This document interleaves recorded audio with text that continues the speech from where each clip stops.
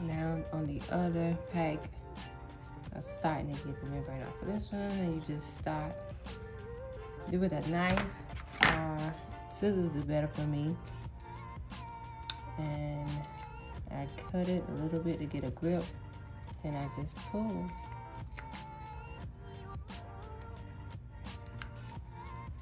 You don't want to cut. You just want that membrane. You don't want to cut all the way down in the meat or through the bone or anything. I just cut it to get that started.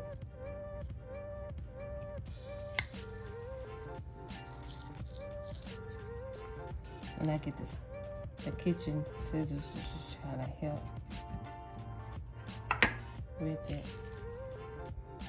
Because if not, you'll tear, you'll get some off and not all. So you just want to start it all the way, lift it up here and here and pull. And of course, you're to leave some on there. And then you're not to get all of it off. But once you start to wash your meat thoroughly, each individual piece, you can start to see, you know, pull the portions that you was not able to pull off.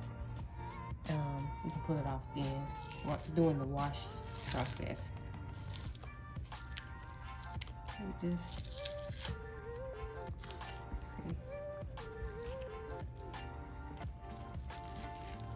I used to get a paper towel to help me and my gloves. Um, not a glove, you know, I like the cooking gloves.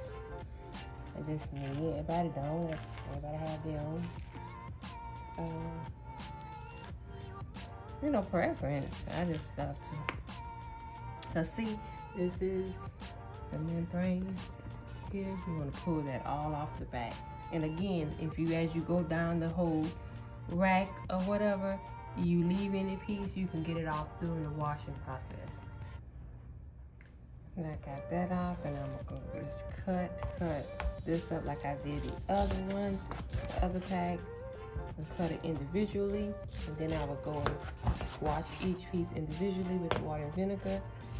And again, any piece of um, membrane that I see that was torn that I couldn't get off with the one pull, I would go in and remove it.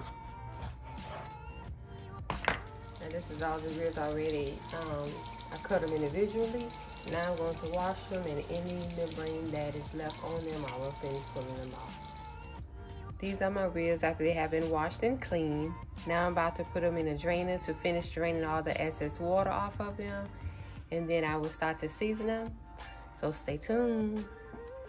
Now I'm going to season my ribs and get ready to batter them with some all-purpose flour. And then I'm going to fry them and start the process on the gravy to smother them.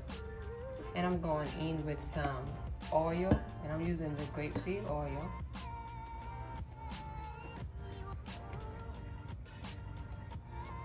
I'm just gonna coat it with that. Like I used to see me use my gloves. I ran out of them, so I have to go and grab some more. So right now, I just have to use my hands and a spoon. I'm gonna give it some accent.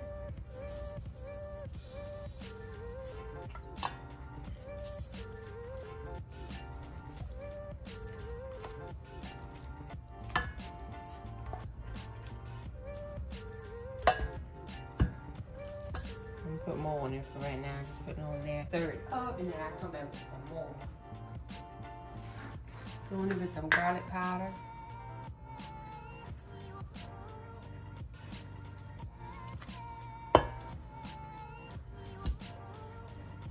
It is Sunday. What are you all cooking today? Let me know in the comments what you're cooking.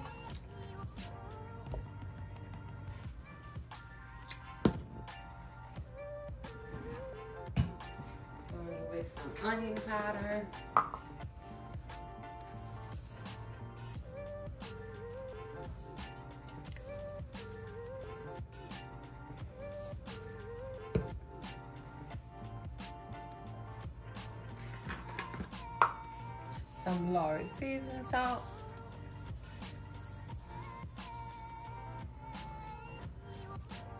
I'm just gonna mix it all up instead of trying to pick it up and go to the bottom with it, and then I'll put some more. I stir it up together. I'm gonna need some Tony's Creole.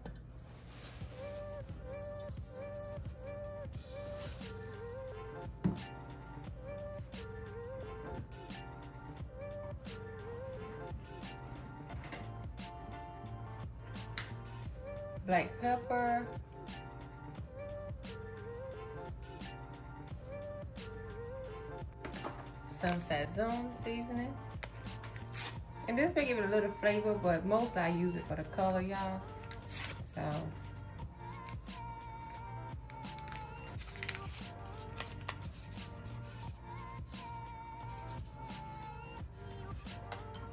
Now I'm just gonna mix it up together. Usually I'll get in there with my hands and use the fire.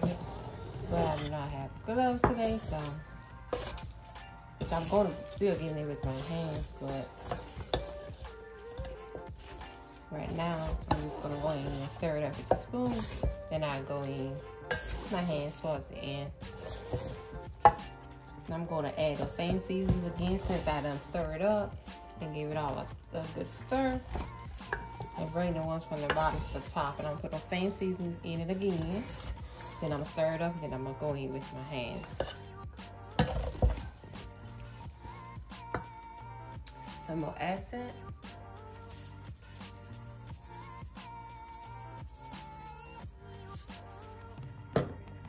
Garlic powder.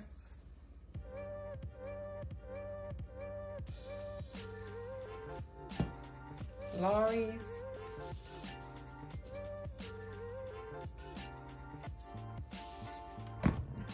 Black pepper. Onion powder.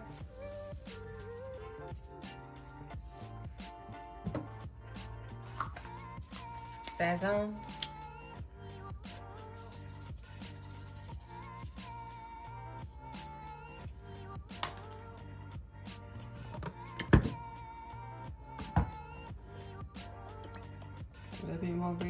Oil. Just a little bit.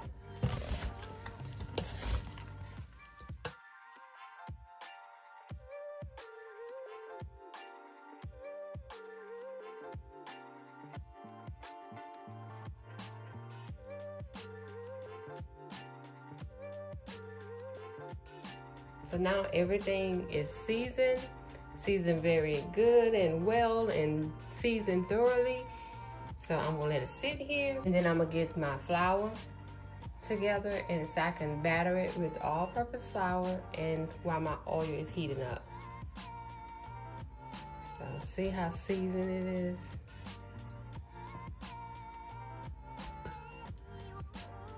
I'm gonna now put my flour in a bowl and then I'm gonna put the ribs in that bowl and shake it up so the flour could coat it all the way good. Sometimes if I'm just doing a few pieces, I may put it in a Ziploc bag or something like that. But today I'm gonna put it in a bowl, a plastic bowl, and put my flour in it to shake it around. And that's all I got. I got some flour in the bowl. And in this bowl, I'm gonna put a little bit of seasoning. Even though I seasoned my ribs re really well, I'm still going to just add a little bit of seasoning to my flour. Not a whole lot. Just some accent, garlic powder. And I'm going to Add a little bit of Lawry's seasoned salt.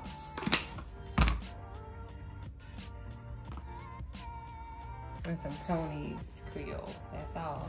Not much. I'm gonna put the lid on to shake that flour around so the seasonings can mix. Mm. Put in a few pieces of ribs.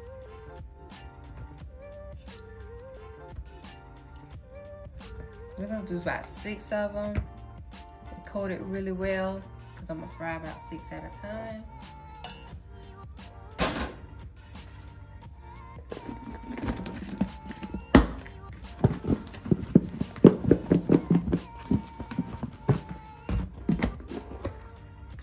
it's coated see it's coated really well now I'm just going to shake it off and then drop it to fry I'm a rough chop a green bell pepper and a one sweet onion. And this will go into my gravy mix when I do, um, when I start smothering the ribs.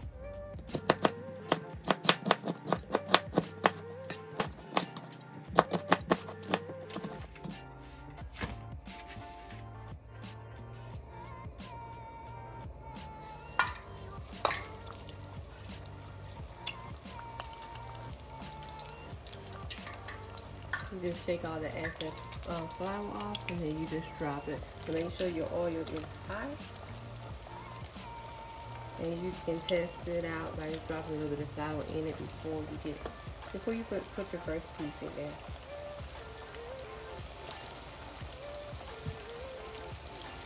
And don't overcrowd the pan.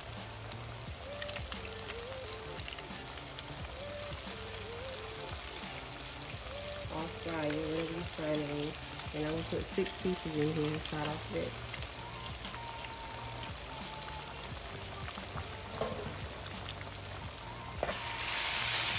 Right there, so the oil can cover the meat. I just got for it just adjusting.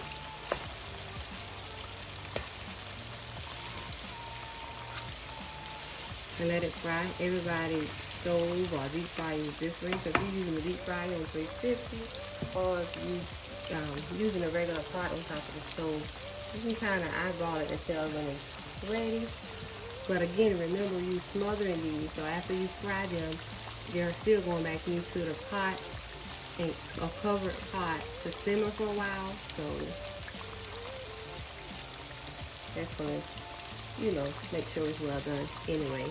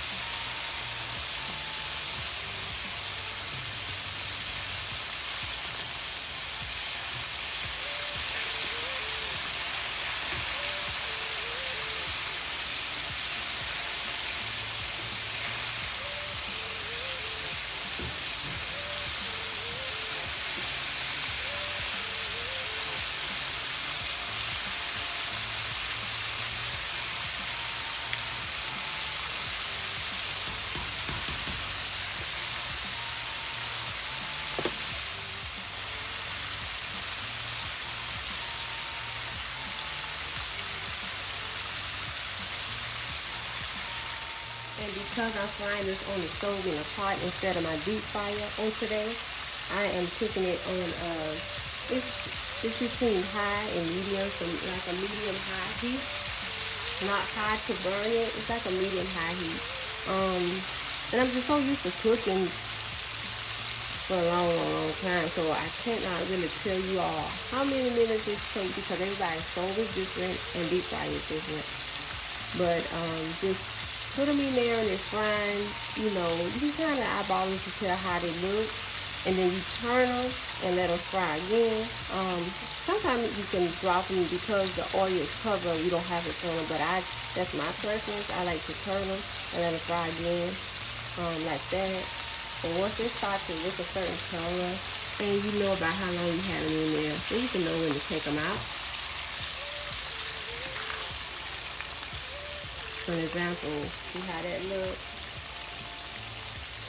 So it's about ready to come out, and I'm going to take all them out, and I'll put it in that aluminum pan I have in the back until I get all of my ribs fried, and then I'll start making um, the roux of my gravy and um, start to smother them. But I just wanted to show you how it looks. You can get it to your preference. I know my husband loves crispy meat, so that's why I let him go sometime a little longer. But again, they're not going to be too crispy today because I'm going to smother them. So they're going to still get um, wet when I put it in the gravy. But that's how they look. But if you're just going to eat them fried and you like them crispy, you can let it go a little longer to get a crisp to it. And again, I don't know exactly how long because, you know, you just have to eyeball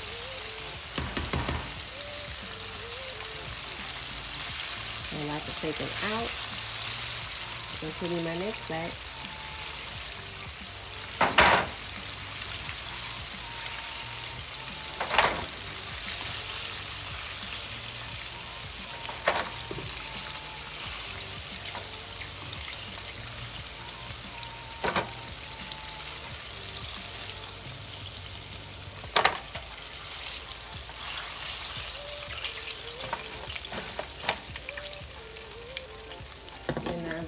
Drop. Sometimes you turn the heat down a little bit um, because after you fry your first batch, sometimes when you put your second batch in, it starts to cook immediately so fast. You don't want that because you don't want it to dry out and it look like it's done on the outside, but it really not done, and it's just dry.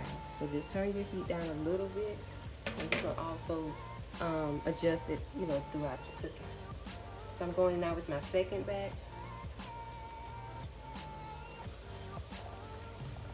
And I'm putting, because this pot size, I'm only putting six pieces in it. A lot of times I fry in my deep fryer. But today I'm just to fry in this pot because this is the pot that I will be making the gravy in. Um, so I just want all that goodness from what has been fried to stay in the pan.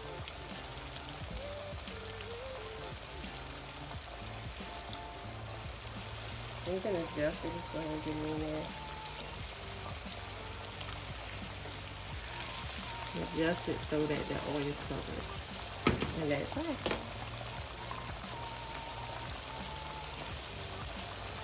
Gotta give my husband one piece of fried ribs.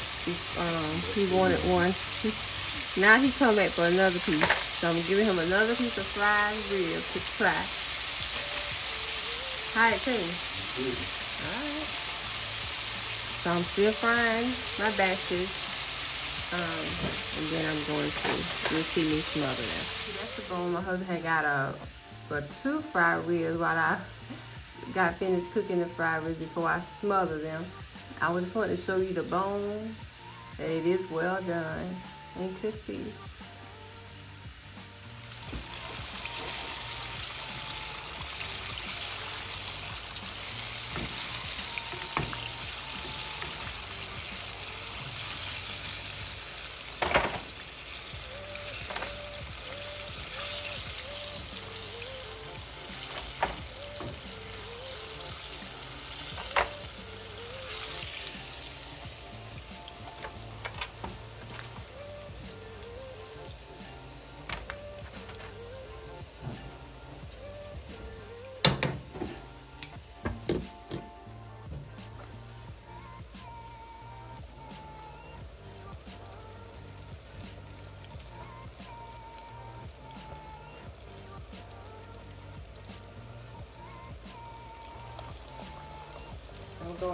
My third batch.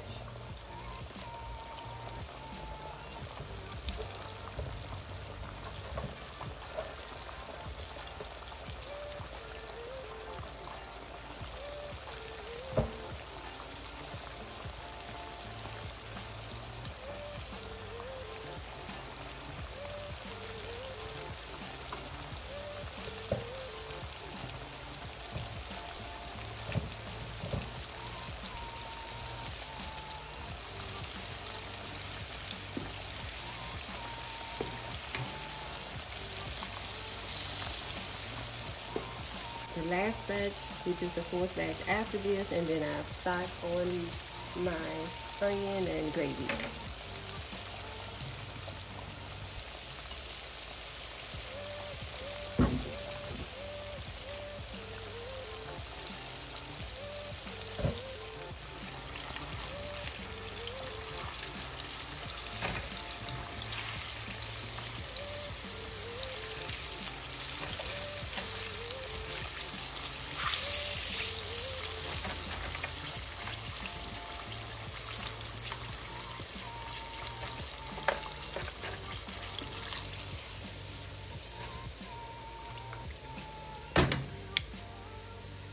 Now I'm putting in my last batch. This is my rib sitting over there, ready to get thrown in some gravy. So I'm almost finished. I'm gonna go in now with my last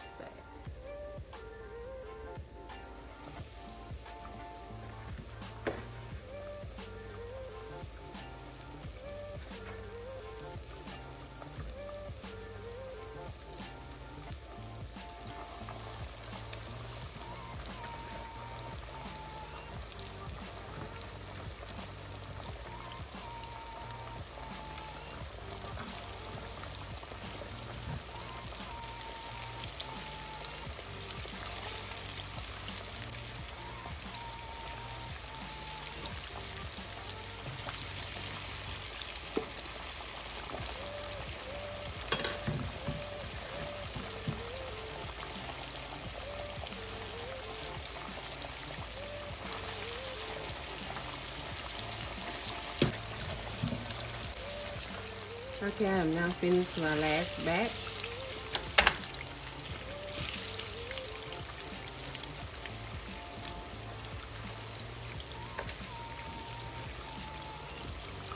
And it's all well done and crispy, just in case if anybody wanted a piece of fried, just fried real without the um, gravy.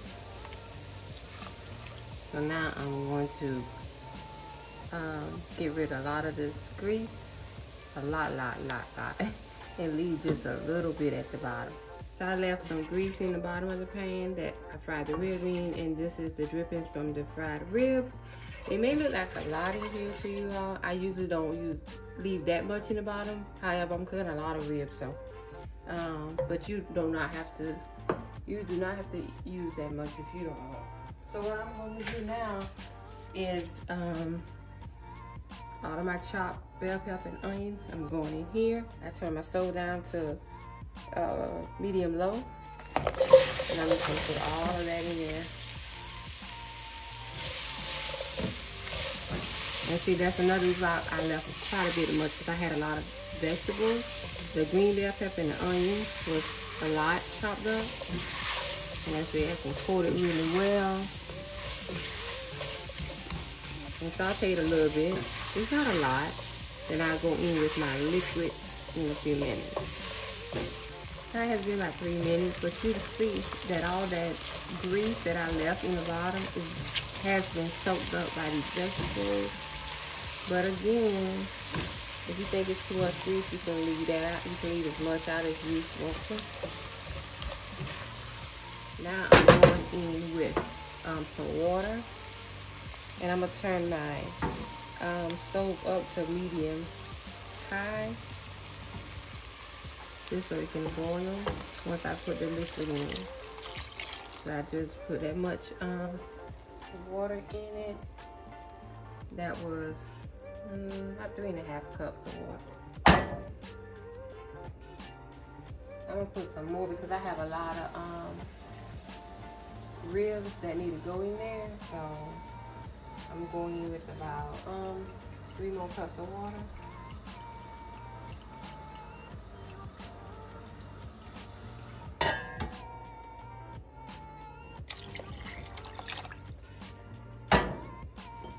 And I'm gonna stir.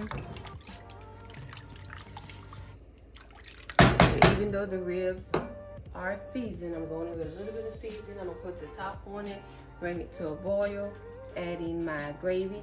Now at the part, if you wanted to make um, gravy from scratch, before you put your water in it, when you saw uh, when I had the vegetables all in the oil and stirring that together, that is where you're going in with some flour, some all-purpose flour and brown it and keep stirring it in the vegetables until you get, you know, the, the flour turns brown. And you can make your roux like that from scratch. But today I'm not doing from scratch. I'm using a brown gravy pack. But for you all who do not like to use brown gravy pack, before you put your water in, go ahead and brown your flour and stir it up and get it all, you know, the color that you want in your vegetables. Then you add your water you can add seasons if you want in, put the lid on and bring it to a boil. But I'm not doing from scratch. I'm using a brown gravy pack. So I went ahead and add my water, add some seasoning, stir it up, bring it to a boil, and add my brown gravy pack in there. And then I'll add my meat to the dish. But again, you do not have to use the pack gravy. Brown your flour. I'm just not doing it today. So I'm going in, that's a little bit of acid, a little bit of garlic powder, not a whole lot. Tony's Creole. A little bit of onion powder. Black pepper. And that's all. And it's not gonna be salty.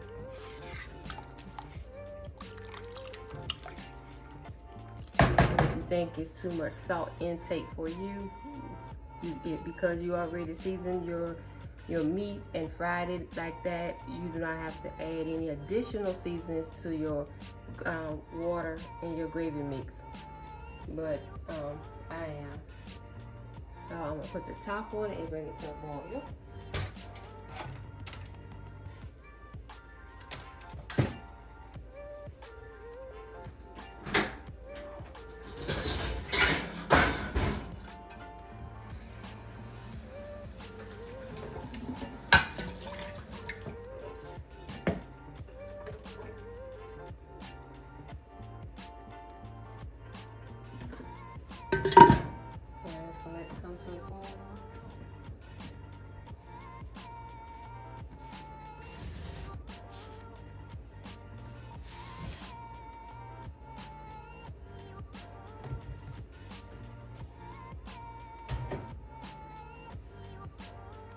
While I'm waiting for that to come to a boil, I'm gonna take my um, cup, I'm gonna add some cold water and my brown gravy pack, give it a stir because this is what I'm gonna pour into my boiling uh, water mixture.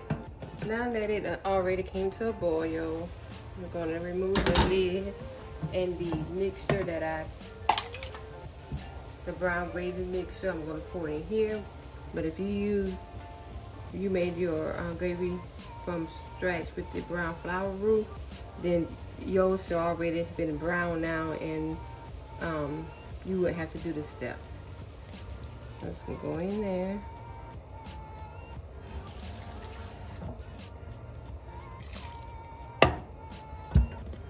Pour it in there. That's just to give it a little brown. Or I could have, um, cause it was already um, the color brown really, but I put the um, gravy pack in it or you can put the flour in it because this is what's going to help it get thicker as well.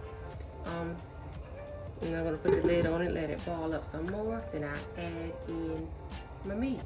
Now I'm going to add my meat to this.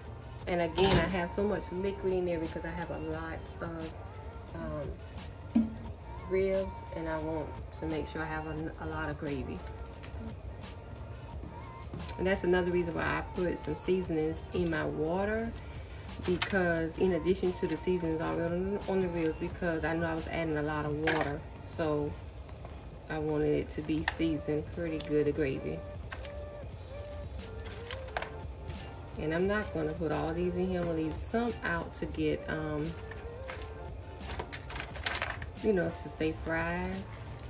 So if anyone want any fried pieces, you can get it.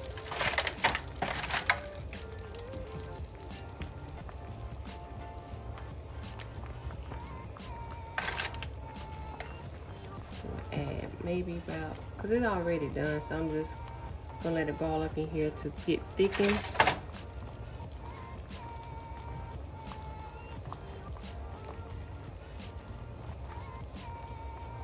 And ball some liquid down. That's why it's in here boiling too.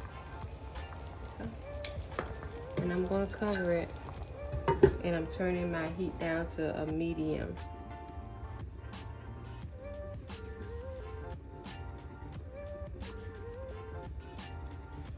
I left some fried. But I have a lot of gravy, so if later if you want to put any um, gravy on the, you know, on the fried part, or like if you want to just have rice and fried ribs with some of the gravy on the side, and, the, and it's not coated on the rib, then you can. That's why. Um, that I left some um, left out fried as well. And I'll show it to you. So that's the fried, some fried that I left out. And then this is the one that is getting smothered.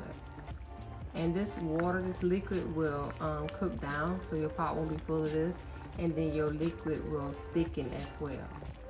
And just wait for the end results.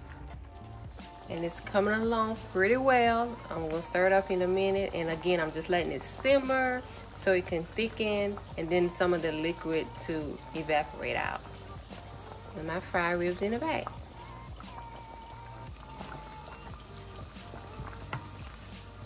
It's not thick like I wanted that. So it's gonna sit there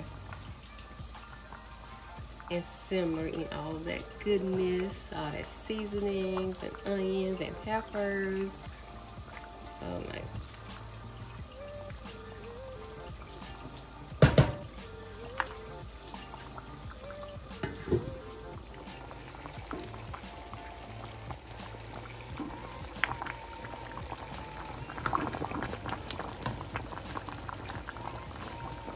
still hasn't thickened like I wanted to.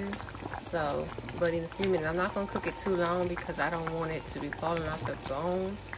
I want it to really stay on the bone, but it's very tender.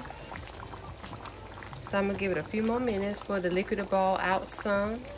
And then I'm gonna go in with a few teaspoons of thickener, which is cornstarch. And it's actually starting to thicken even without the um, cornstarch, but I'm still gonna add some cornstarch in it. But you can see that's off the flour of the ribs. That helps it thicken.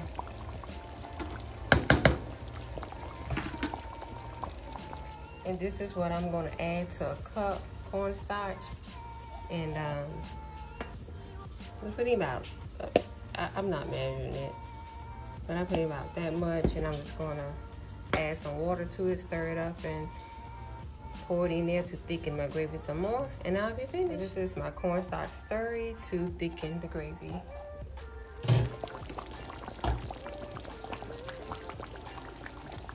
Just gonna pour some in there like in the middle and then I'll stir it around.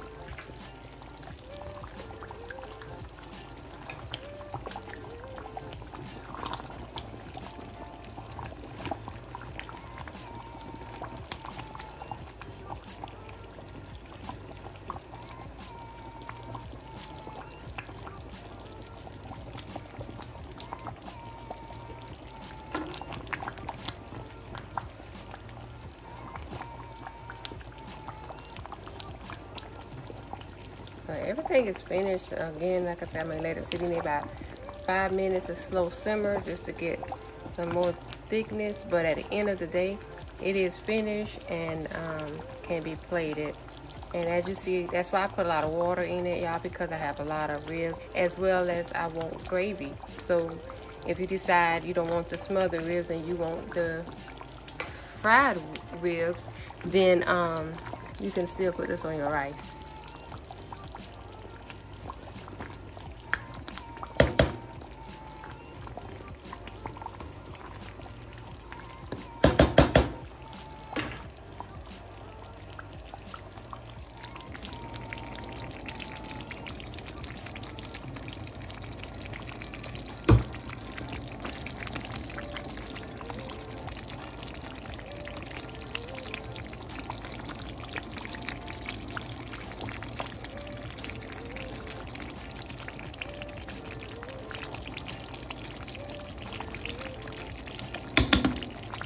Thank you all so much for watching. I hope you all enjoyed this video.